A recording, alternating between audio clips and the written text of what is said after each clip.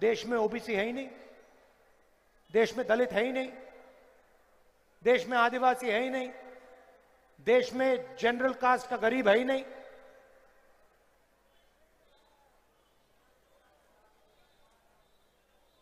एक और बात समझिए, हम हर स्टेट में किसान का कर्जा माफ़ करते हैं। हर स्टेट में यहाँ पे किसान का कर्जा माफ़ हुआ। 50 परसेंट ओबीसी वर्ग है। मतलब जितना पैसा हमने किसानों का कर्जा माफ़ किया, उसका आधा पैसा ओबीसी वर्ग को मिला। यहाँ पे 25 लाख रुपए स्वास्थ्य में हम आम जनता को देते हैं। राजस्थान एक प्रदेश है, जहाँ स्वास्थ्य का अधिकार है। कैंसर हो जाए, दिल का दौरा पड़ जाए वैल्व बदलना हो स्टेंट लगाने हो, घुटना घुटना बदलना हो रिप्लेस करना हो, एक पैसा नहीं देते आप लोग। मैं तो गहलोत जी से पिछली मीटिंग में कहा 25 लाख रुपए गहलोत जी कम है। इसको बढ़ाइए थोड़ा। अब ये जो 25 लाख जाता है 50 परसेंट ये ओबीसी के जेब में जाता है। 50 परसेंट आबादी है। 50 परसेंट पिछड़ों के जेब में जाता है। गैस सिलेंडर हम गरीबों को देते हैं। 500 रुपए का गैस सिलेंडर। 50 परसेंट पिछड़ों को फ़ायदा होता है, दलितों को होता है, आदिवासियों को होता है, गरीब जनरल कास्ट के लोगों को होता है। अंग्रेज़ी स्कूल खोलते हैं 50 परसेंट पिछड़ों को फ़ायदा होता है। मगर जब नरेंद्र मोदी जी ने 14 लाख करोड़ रुपए कर्जा माफ़ किया, अरबपतियों का माफ़ किया, उसमें से पिछड़े कितने थे? दलित कितने थे? आदिवासी कितने थे? गरीब जनरल कास्ट के कितने थे? एक भी नहीं। एक भी नहीं था। मैं उनकी योजना के बारे में बताता हूँ आपको। स्वास्थ्य बीमा योजना। नरेंद्र मोदी उसके बारे में बोलते रहते हैं। मैं आज स्वास्थ्य बीमा योजना आपको समझा देता हूँ। पैसा कहाँ से आता है? जीएसटी से आता है। कौन देते हैं? गरीब जनरल कास्ट के लोग, दलित, आदिवासी, पिछड़े, पेट्रोल खरीदो जीएसटी खाद खरीदो जीएसटी पेस्टिसाइड खरीदो जीएसटी बिजली का बिल अदानी जी को जाता है। शर्ट खरीदो जीएसटी जितनी जीएसटी आप देते हो, उतनी जीएसटी अदानी देता है। अगर हिंदुस्तान का गरीब व्यक्ति शर्ट खरीदता है और उसी शर्ट को अदानी खरीदता है, दोनों उतनी ही जीएसटी देते हैं। अगर हिंदुस्तान का गरीब किसान एक लीटर पेट्रोल खरीदता है, अदानी एक लीटर पेट्रोल खरीदता है दोनों एक जैसी जीएसटी देते हैं। अगर ढाबे में अदानी खाए और गरीब व्यक्ति खाए, दोनों उतनी ही जीएसटी देंगे। तो जीएसटी का पैसा आप देते हो। नरेंद्र मोदी जी लाए फ़सल बीमा योजना। बीस हज़ार करोड़ रुपए सेंट्रल गवर्नमेंट ने दिए जीएसटी का पैसा, आपका पैसा। दस हज़ार करोड़ रुपए स्टेट ने दिए जीएसटी का पैसा, आपका पैसा। पाँच हज़ार करोड़ रुपए किसान ने अपने जेब से दिए। पैंतीस हज़ार करोड़ रुपए। पैंतीस हज़ार करोड़ रुपए नरेंद्र मोदी जी ने सोलह कंपनियों को दिया। सीधा। उनमें ना एक ओबीसी है, ना एक गरीब जनरल कास्ट का है, ना एक दलित, ना एक आदिवासी। पैंतीस करोड़ रुपए 16 कंपनियों को दे दिए। लाखों रुपए की उनकी सैलरी, करोड़ों रुपए की सैलरी।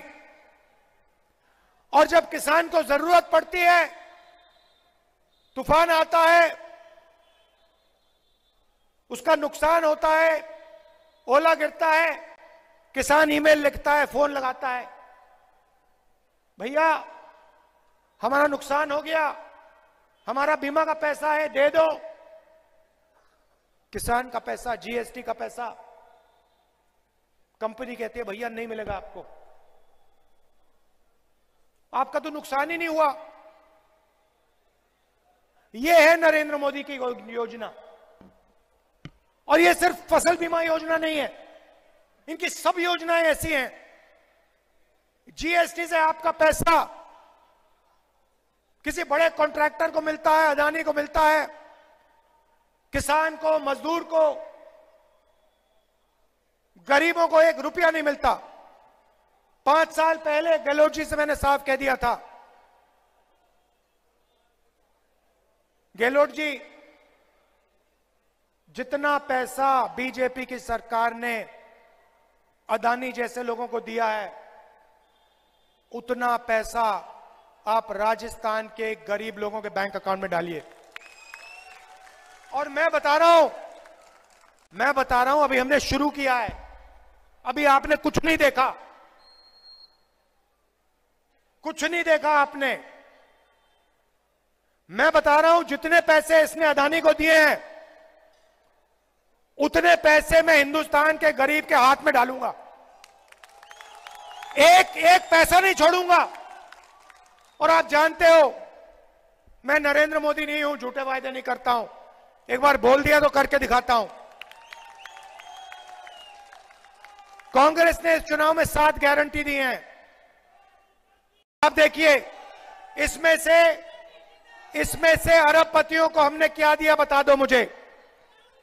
राजस्थान की हर महिला, हर परिवार की एक महिला को राजस्थान की सरकार हर साल बैंक अकाउंट में दस हज़ार रुपए डाल के देगी।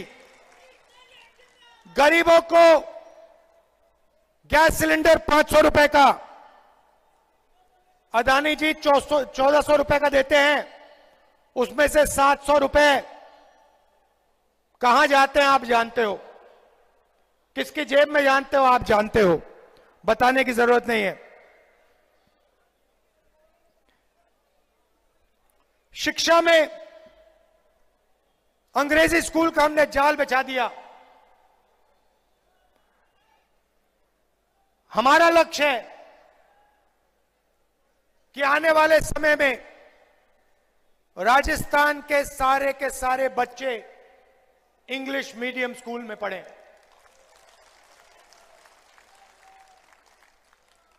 फ़ायदा 50 परसेंट पिछड़ों को।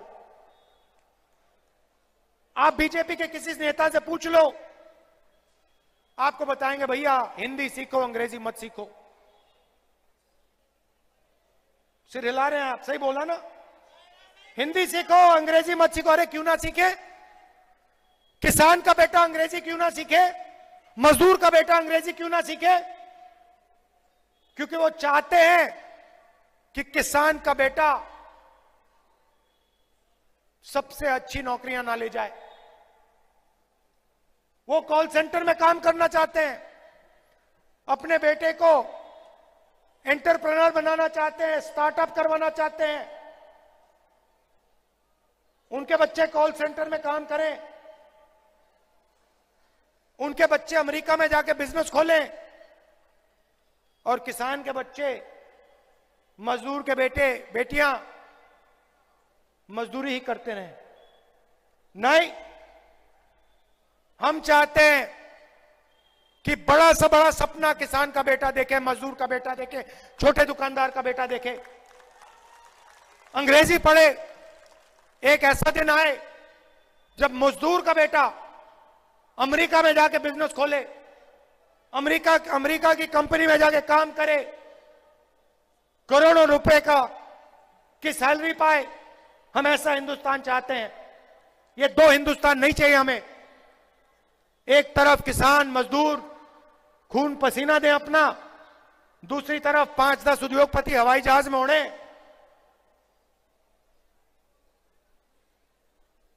लाखों रुपए हर रोज खर्च करें, ऐसा हिंदुस्तान नहीं चाहिए हमें। यह मैं आपसे कहना चाह रहा था, राजस्थान में गरीबों की सरकार बनाइए। जो भी हम योजना लाए हैं, स्वास्थ्य की योजना हो महिलाओं को पैसे देने की योजना हो, ये सारी की सारी योजना बीजेपी बंद कर देगी। हम आपके लिए ओल्ड पेंशन स्कीम लाए, बीजेपी ने रद्द कर दिया। आप आए हमारे पास, सरकारी ऑफिसर आए, आपने कहा, देखिए, हमें तो अपना ओल्ड पेंशन स्कीम अच्छा लगता है। आपकी आवाज़ सुनी और आपको पुराना पेंशन स्कीम हमने वापस दिया। राजस्थान में दिया। आप याद रखिए, बीजेपी की सरकार आएगी तो आपका ओल्ड पेंशन स्कीम हवा में उड़ जाएगा, गायब हो जाएगा। हम गरीबों की सरकार चलाते हैं। और मैंने आपसे कहा, अभी शुरुआत है। राजस्थान पहला कदम है। दिल्ली की सरकार आएगी तो फिर देखना, गरीबों के लिए कांग्रेस पार्टी क्या करती है। ये जो जाति जनगणना है, मैंने मन बना लिया है। राजस्थान की सरकार आएगी, कास्ट सर्वे यहाँ पे हो जाएगा, पूरा होगा। और पिछड़ों को हम बता देंगे, आपकी इतनी आबादी आपकी इतनी भागीदारी। और देश में सरकार आएगी। पूरे देश में जाति जनगणना होगा।